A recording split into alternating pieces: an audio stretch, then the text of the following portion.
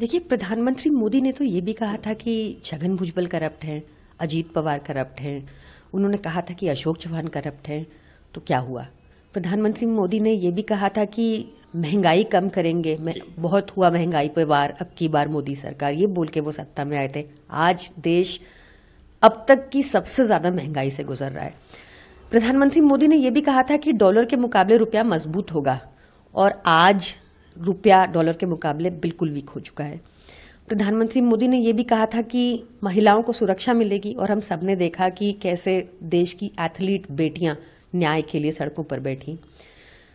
तो प्रधानमंत्री मोदी ने अगर 370 कहा है तो उनके कहने से क्या होगा? ये तो जनता के हाथ में है और अभी लोकतंत्र है, लोकतंत्र में जनता की चलती है, किसी नेता के कहने से कुछ नहीं होता। थैंक यू देखिए, मैं अपना माननीय दिल्ली के मुख्यमंत्री अरविंद केजरीवाल को अपना चैलेंज देता हूँ कि वो दिल्ली में लोकसभा का चुनाव लड़कर दिखाएँ। और मैं उनको चैलेंज देता हूँ, मेरे सामने लड़कर दिखाएँ।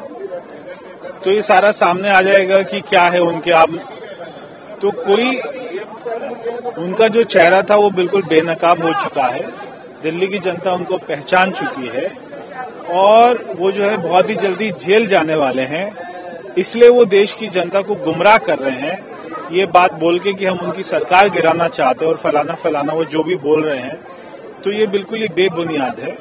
और अरविंद केजरीवाल भी समझते हैं कि एक बार फिर से मोदी जी प्रधानमंत्री बनेंगे। ये बात